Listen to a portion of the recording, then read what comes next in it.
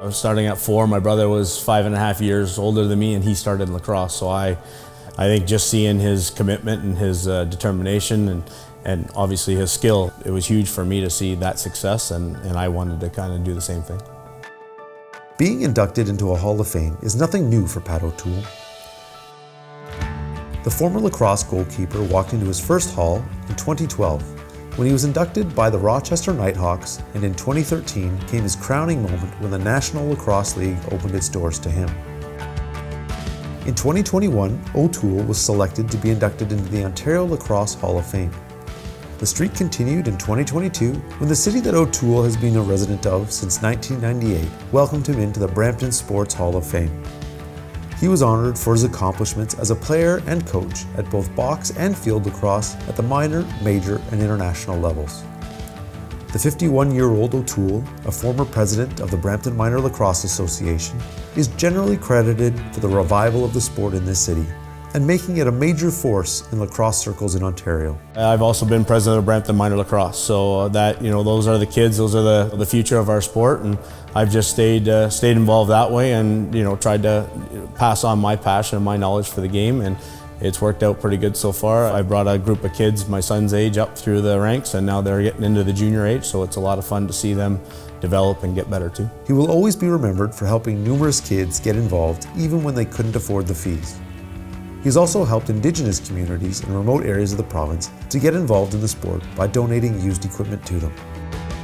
O'Toole played for the Brampton Major Excelsiors in 1998 and 2000 and reached the pinnacle of Canadian lacrosse, winning the Mann Cup in 1998. In the Mann Cup Championship Series, O'Toole was recognized with the Mike Kelly Award, symbolic of the Mann Cup Series Most Valuable Player.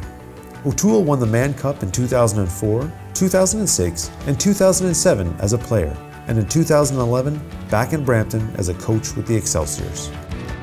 O'Toole played 12 of his 16 seasons with the Knighthawks, and he was the lone member of the class of 2013 to get into the Hall. To be the lone guy going in is a shocking and a tremendous honor, said O'Toole at the time. Just to be recognized is unbelievable and something to be proud of.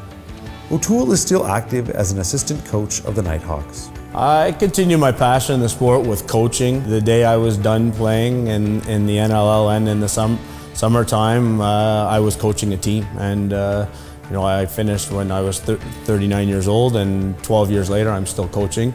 I'm coaching in the NLL. I coach in Ontario.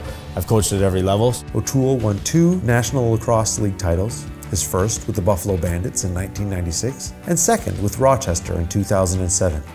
He's Rochester's all-time leader in wins with 102 and saves with 5,756 and had a career save percentage of 768. O'Toole retired in 2010 as the all-time leader in the NLL in regular season saves at 6,464, subsequently topped by Bob Watson in 2011, and playoff saves at 802. He won the Goaltender of the Year award in 2003 while playing with Rochester, where he spent 12 of his 16 seasons.